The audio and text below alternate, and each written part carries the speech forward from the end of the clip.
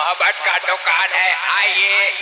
time pass होना चाहिए कि आय होना चाहिए कि जिंदगी में जाने वाला चाहिए आइए आइए मोहब्बत का दुकान है आइए